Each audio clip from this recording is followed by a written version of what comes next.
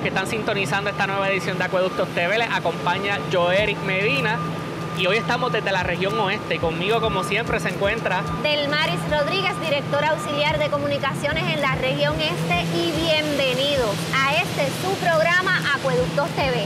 Como bien dijo Joeric, estamos hoy desde el oeste en un episodio muy diferente dentro de lo que es la dinámica de la Autoridad de Acueductos y Alcantarillados con información importante, valiosa y que a usted le va a sorprender que nosotros en la autoridad nos hayamos insertado también en estos temas. Bueno, y como el tema es amplio, vamos de lleno con nuestra invitada especial para esta edición de Acueductos TV. Nos encontramos en estos momentos directamente desde la planta de composta en Mayagüez. Escuchó bien, planta de composta. Planta de composta en Mayagüez, pero y como dice Del Mar, y usted probablemente pensaba que tiene que ver acueducto con esto, pues sí, eh, la Autoridad de Acueducto y Alcantarillado tiene una planta de composta en Mayagüez que tiene también una misión de servir, ¿verdad? Tiene también una misión de servir eh, a lo que es la región oeste de la corporación y con nosotros se encuentra Cheryl López, que le damos la bienvenida. Ella es supervisora de manejo de composta aquí en la planta de Mayagüez. Cheryl, saludos y gracias por estar con nosotros. Gracias a ustedes por venir a donde nosotros para poder compartir esto con el público.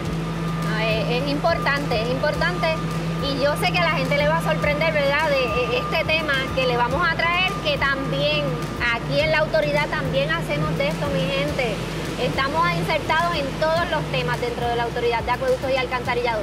Cheryl, ¿dónde exactamente estamos? Nosotros actualmente nos estamos en el barrio Sabanetas, en la carretera 342, kilómetro 0.5 en Mayagüez. Y esta es la planta de composta de Mayagüez que sirve a la región oeste. Cheryl, cuéntanos, ¿qué hacemos aquí? Pues nosotros producimos composta a base de los lodos residuales de las aguas usadas. Los, eso y para beneficio de la gente que nos está sintonizando, los lodos residuales en el proceso de tratamiento de las plantas de alcantarillado se hace una separación de, líquido, y, y, sólidos. Entonces esos sólidos que ustedes recopilan de las plantas de alcantarillado son traídos aquí para su, el procesamiento correspondiente para efectos de la composta. Eso es correcto, eso es correcto. Nosotros recogemos todos esos lodos los mezclamos con material vegetativo triturado y entonces se pasa para un proceso de fermentación por 21 días en donde le subimos las temperaturas ¿verdad? a estas pilas para que maten lo que puede ser organismo patógeno eh, para entonces poderlo vender a las personas. Una vez se le hagan los análisis se le puede vender al, al público. Te pregunto, ¿solamente utilizan el lodo de la planta de alcantarillado o utilizan otro tipo de lodo en los diferentes tratamientos que nosotros... Ok, para la producción de composta como tal, nosotros solamente utilizamos el lodo de, las aguas, de, de, los lodos residuales de las aguas usadas. Sin embargo, nosotros tenemos un segundo producto que lo hicimos en conjunto con el Colegio de Mayagüez haciendo unas pruebas con los lodos de las aguas de potable. Okay. los llenos de agua de potable y nosotros lo que hacemos es que mezclamos estos lodos a una razón, ¿verdad? Una mezcla secreta que tiene la autoridad. Muy bien, muy bien. para entonces lo mezclamos con composta final para poderlo vender al público. ¿Desde, ¿Desde cuánto tiempo lleva esta planta aquí? ¿Cuándo ustedes comenzaron esta operación? Pues la operación como tal de la planta, aunque la planta a su comienzo de construcción fue antes de los 2000, de los años 2000, en el 2004 comenzaron las pruebas. Eh, pues, para el trial de, de la planta, para empezar a correr la planta. Ya en el 2005, a mediados del 2005, entendemos que ya abrió sus puertas como tal. Para la venta al público, al 2007, a mediados del 2007 ya abre al público. Excelente. Interesantísimo. Y estoy viendo por ahí, porque como ustedes pueden ver en las imágenes que hemos estado mostrando a través del programa, eh, es una instalación bien amplia. Eh, y aparte de los lodos, como dice Del Mari, también como parte de esa mezcla para elaborar la composta tenemos material vegetativo. ¿De dónde proviene ese material vegetativo? Nosotros somos un centro de acopio para la región también, para quien no lo sepa, nosotros recibimos material vegetativo de todos los municipios y, público aledaño, ¿verdad? Del área. Personas que hagan poda en sus casas pueden traernos ese material, nosotros se lo recibimos a un costo mínimo. y también eh, tras el paso de cualquier evento atmosférico, todo ese recogido de material vegetativo, de árboles en las carreteras, pues se dispone de la manera correcta en esta planta. Eso es correcto, así no llega a vertedero, ¿verdad? Que se supone que nada que sea reutilizable vaya a los vertederos del país que están a punto de cerrar, pues entonces nos los traen nosotros y nosotros hacemos de ellos pues un mejor uso. La Autoridad de Acueductos y Alcantarillados insertada en este tema de la preservación del ambiente. Te pregunto, Cheryl, ¿qué, composta se, se produce aquí? Pues es una composta de, de, alta calidad. Nosotros los estándares de calidad de nosotros son sumamente altos, nos dejamos llevar por la EPA y la Junta de Calidad Ambiental. Eh, la EPA, realmente la Junta de Calidad Ambiental no nos permite vender otra composta, ¿verdad? De este tipo de compostaje a base de cieno que no sea clase A. Nosotros utilizamos lodos de lo que ellos llaman exceptional quality, que es que la cantidad de material, ¿verdad? O, o, o metales pesados, ¿verdad? Dentro de esos lodos es mínima inclusive hasta en la tierra podemos encontrar más cantidad de esos de metales pesados. Nosotros utilizamos ese lodo que es exceptional quality para mezclarlo con, hacer una mezcla excelente con material vegetativo para entonces poderlo vender al público. Y Cheryl, eh, poniéndome un ejemplo, yo como un vecino de aquí del área, yo hago un recogido en mi jardín y tengo unas plantitas ya que, este, que murieron, unas plantitas ya que están ocupando espacio en mi patio eh, un arbolito, una ramita que se cayó, pues yo puedo llegar aquí a la planta de composta en Sabanetas, en Mayagüez, y disponer de ese material vegetativo. Eso es correcto. Nosotros somos un centro de acopio. Aquí puede disponer todo el material vegetativo que usted tenga en su casa. Interesante del mar. Son muchas las funciones que tiene esta planta de composta en Mayagüez y es la única planta de composta de toda la autoridad de acueductos y alcantarillados. Así que mantenga la sintonía porque faltan temas, faltan cositas de explicar para que usted vaya bien informado de qué es lo que sucede aquí desde Mayagüez en nuestra planta de composta. Mantenga la sintonía.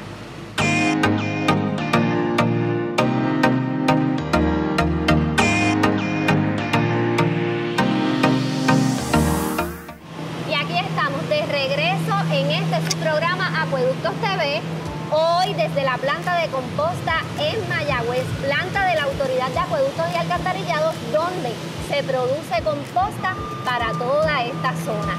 Y nos acompaña Cheryl, que es la supervisora de esta instalación, y continuamos hablando un poquito de qué es lo que sucede aquí desde Mayagüez. Cheryl, te pregunto, ya nos explicaste, ¿verdad? Que eh, tenemos los lodos, eh, también se utiliza el material vegetativo, ya tenemos todos los elementos los lodos, el material vegetativo. ¿Qué es lo próximo? Ok, lo primero que tenemos que hacer es ver ese material vegetativo, nosotros lo tenemos que triturar, ¿verdad? Le tenemos que triturar más o menos a unas 4 pulgadas.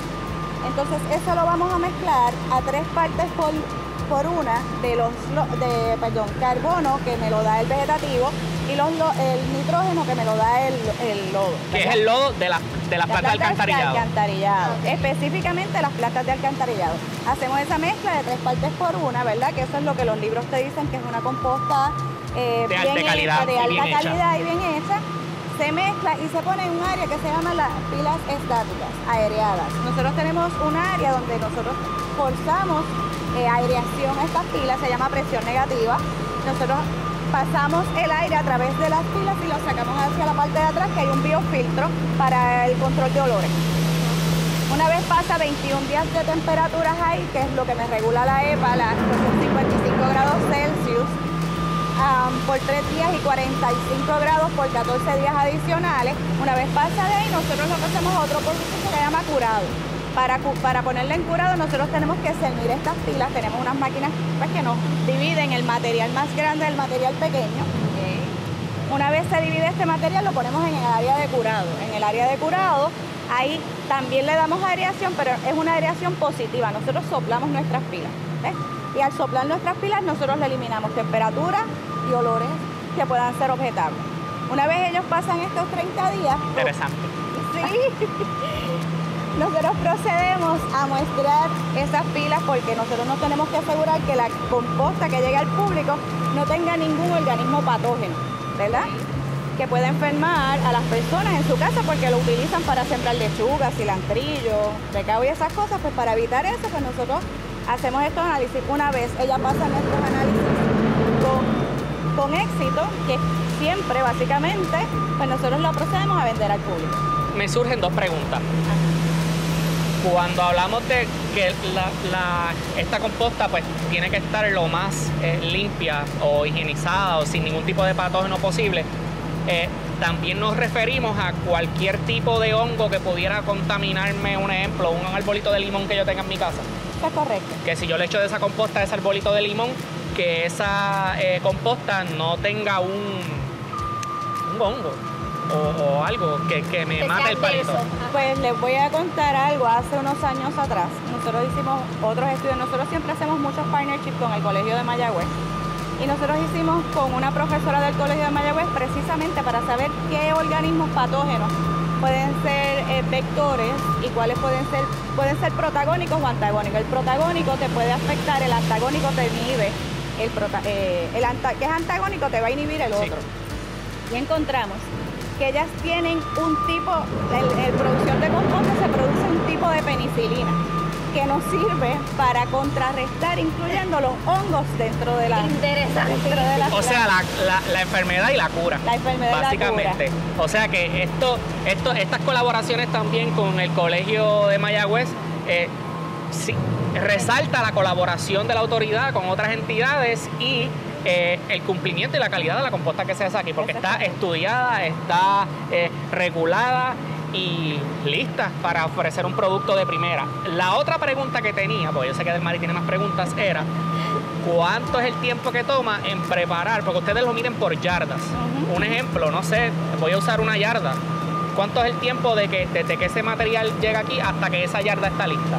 Días, horas, semanas, pues, meses. Son meses, son meses porque está 21 días en el proceso de fermentación, 30 días en curado y vamos a ponerle tres semanas a cuatro a un mes más en lo que esos resultados nos llegan aquí a la planta. O sea que debo entender que mucha de la materia de la composta que está aquí, eh, esa materia llegó mínimo dos meses. Exactamente. Mínimo dos meses lo que pasa todo ese proceso interesante del mar. En, en cuanto al equipo de trabajo, pues nosotros tenemos actualmente tenemos tres loaders, eh, que son cargadores frontales. Ellos nos, los utilizamos para mezclar nuestro material. Que son las máquinas que estamos viendo en nuestra parte posterior. eso es correcto. Tenemos dos trituradores de material vegetativo. Tenemos tres cernidores de material ya composta finalizado. Cada uno de esos equipos pues tiene su peculiaridad, ¿verdad? Eh, y pues unos son buenos para unas cosas, por eso tenemos además de que tenemos redundancia, por eso tenemos esos equipos, varios equipos de cada uno. En algún momento mencionaste que habían unos aireadores, que hay unos termómetros. ¿Cómo ustedes controlan todo ese equipo que les da ese apoyo para producir la composta? Ok, nosotros tenemos un área de pilas estáticas aereadas, ¿verdad? Que son 14, 14 líneas. Cada línea... Eh, perdona que te interrumpa. Pilas es la montañita esta que a lo mejor usted en las imágenes la va a ver ellos le llaman pila, es la montañita del material que sea, ya sea el material vegetativo, ya sea la composta eh, eh, mezclada. Eh, esa pila es esa montañita. Ajá. Pues Tienen 14 montañitas. En el área de pilas estáticas nosotros podemos montar 14 montañitas de esas, 14 pilas. Cada pila a la parte de abajo tiene unas líneas de aireación, nosotros le llamamos trincheras. Esas trincheras tienen una tubería que va conectada a un blower a la parte de atrás de 5 caballos de fuerza y encima de ese tenemos otro a la parte de atrás de 30 caballos de fuerza que va hacia el biofiltro. De esa manera, es, nosotros, cada pila, además de eso, cada pila tiene tres termómetros que son electrónicos. Eso va a un sistema de computadora donde nosotros mantenemos todo el tiempo tomando las temperaturas de esas pilas. Y adicional, en el área de curado, pues tenemos cinco blowers de 5 caballos de fuerza para entonces nuestras pilas de curado. Ya está viendo que es, un proceso más allá de mezclar un, material, es un proceso sumamente regulado, es un proceso con controles y con, y con unos estándares de calidad y, de unos procesos a seguir eh, bien estrictos. bien estrictos. Donde la tecnología adicional también juega un papel importante porque esos blowers, esos termómetros tienen que estar nítidos, ¿verdad? Para que, para que no se nos dañe el proceso. Todos los equipos, todos tienen, que estar funcionando. Si el triturador no me funciona, no tengo material vegetativo, los lodos me tienen que estar llegando constantemente, tengo que tener mis cernidores eh, en función, porque si no, no puedo cernir, no puedo producir. El que me produce realmente es el cernidor, eh, porque ese es el que me separa el material de composta final. Eh, y obviamente los loaders, sin los loaders no puedo trabajar esta, esta planta. Y ya para cerrar este segmento, yo tengo otra pregunta. ¿Cuánto, cuánto ustedes producen aquí? Ustedes lo, la producción la miren en yarda, ¿cuánto se produce? Ah, ¿Y, a qué, y la cantidad de yardas a qué tiempo es? Actualmente nosotros recibimos aproximadamente, dejándonos llevar por los datos del año pasado, 10.500 yardas de lodo de aguas usadas solamente. Y nosotros de esos 10.500, son un poquito más, como 10.600 yardas, nosotros producimos 9.600 yardas de composta final. Pero eso es con el lodo nada más. Con el lodo nada más. Y con el material orgánico como árboles y todo eso. Eh, es lo mismo, o sea, acuérdate que yo hago una mezcla, la mezcla. sí, hago una mezcla de tres partes por uno. Pero de- eh, vegetativo, vegetativo estamos más o menos recibiendo como unas 25 mil, 30 mil yardas de material al año. Sí, que esto es una instalación grandísima y la producción aquí no se detiene. No, y nada. ya vamos al próximo segmento, ya que sería nuestro tercer y último segmento. Estamos aquí desde la planta de composta en Mayagüez, perteneciente a la región oeste, específicamente al área operacional de Mayagüez. Así que vamos a Mantenga quedarnos la aquí. sintonía porque sé que usted que, que le interesa este material para llevarlo a su casa, ahora va a tener la información de cómo adquirirlo. Así que mantenga la sintonía en este su programa Acueductos TV desde la planta de composta de Mayagüez.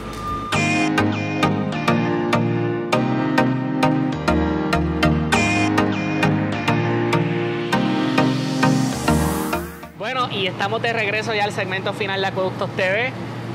Un segmento eh, especial porque tenemos al equipo de trabajo, aparte del equipo de trabajo, porque esto aquí es bien grande, pero tenemos aparte del equipo de trabajo que este, labora aquí día tras día para ofrecer ese servicio de calidad a, los ciudadanos, a la región y, lo que representa a la autoridad, lo que nos distingue aquí en la autoridad de acueductos y alcantarillado. Tenemos aquí a Jiménez, Milton Ruiz, Benis y Moisés Cancel, parte del equipo de trabajo, y Cheryl López también, quien ha sido este, la persona que nos ha dado esa información valiosa para poderla compartir con todos ustedes. Eso es así. Nosotros eh, muy honrados, ¿verdad?, de que nos hayan recibido aquí en esta su planta. Eh, y digo su planta porque desde que llegamos se ve que ellos la han acogido como un proyecto eh, suyo, más allá de un proyecto de la autoridad, como un proyecto suyo. Y por eso queremos hacer este alto y felicitarlos a ustedes y a los que no están aquí con nosotros, pero que diariamente laboran en esta planta, que no significa solamente un proyecto más dentro de la autoridad ya hemos ido viendo que esto, esto también es un, de colaboración educativo porque se hacen alianzas con la las diferentes universidades, Con escuelas también. con escuelas. Esto es un espacio de servicio al medio ambiente, de servicio a la comunidad. Así que esto no es un proyecto más dentro de la autoridad, es un proyecto muy significativo donde cumple con diferentes funciones de lo que es la- nuestra responsabilidad social. Y ya para ir cerrando nuestro programa, ¿qué tiene que hacer? ¿Cómo la gente puede entonces venir aquí? ¿A dónde se tienen que comunicar para disponer del material vegetativo que tengan en la casa? Igualmente, cómo las personas pueden venir aquí hasta esta instalación a ¿verdad? adquirir, adquirir la composta ya para, para su hogar o, o lo que tengan. Ok, ya la dirección la dijimos, nosotros estamos localizados en la carretera 342, kilómetros 0.5 del barrio Sabanetas en Mayagüez. Eh, pueden llamarnos a los teléfonos 834-7540, Que extensión van a aparecer 22, en la pantalla. extensión 2200. Ahí le podemos decir sobre la disponibilidad del material, porque no solamente vendemos composta, eh, de la que nosotros producimos, también producimos un material que se llama Tierra Lista. Es un material de eh, lodo de agua usa, eh, perdón, sí, agua potable, perdón. Agua potable con composta ya final. Ese producto es muy bueno y es, se vende sumamente bien. Y tenemos una composta que nosotros le llamamos composta vegetativa, que es solamente material vegetativo, ya triturado y pasado por un proceso para entonces que poderlo vender. Eh, los precios pues se los damos aquí, recomendamos siempre que llamen para saber la disponibilidad y para el material vegetativo solamente pueden venir aquí con el material vegetativo, ¿verdad? En, su, en guaguita o en la picocita o en donde puedan traerla y nosotros aquí se los recibimos de 8 a 11 de la mañana. Así que importante, vamos a repetir esos números porque toda, la, toda gestión que usted quiera hacer aquí en esta planta de composta, es importante que usted se comunique primero. Que sea coordinada. Y la coordine antes de llegar acá. Así que repite los números donde estas personas que nos están viendo pueden llamar y coordinar el servicio que, que necesiten que se le dé desde aquí, desde la planta de composta. El 787-834-7540, extensión 2200 no me gustaría irme, ¿verdad?, sin agradecerle a mi equipo de trabajo, que para mí es el mejor de todo Acueducto. Claro, usted le agradece y nosotros en Acueductos TV también les agradecemos a todos ustedes por la labor que realizan, a los que están en la parte administrativa también, a todo el personal de, de aquí, de esta instalación, de la región y agradecerle a todos los compañeros de la Autoridad de Acueducto y Alcantarillado a nivel de todo Puerto Rico porque sin duda alguna la labor es excelente y con, como dice la compañera del Maris, con el propósito de servir. Eso es así, eso es así.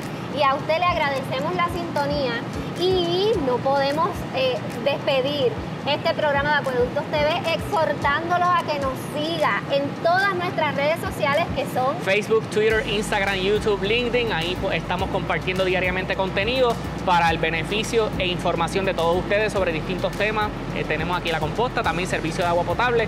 Eh, para beneficio de todos ustedes. Vaya a cada una de esas redes sociales, dele like, follow, active la campanita para que mire cada vez que nosotros estemos aquí activos, llevando la información valiosa a usted, usted sea de los primeros en entrar y enterarse de qué estamos hablando aquí en Acueductos TV. Bueno, y nos despedimos. Muchas gracias muchachos, Cheryl, a todos, pasen el agradecimiento a, los compañeros administrativos y nos vemos, ya, nos, nos vamos ya de, aquí, de la planta de composta, una tremenda experiencia eh, y qué placer poderla compartir con todos ustedes. Así que nos vemos en la próxima edición de Acueductos TV. Será hasta la próxima. Hasta luego.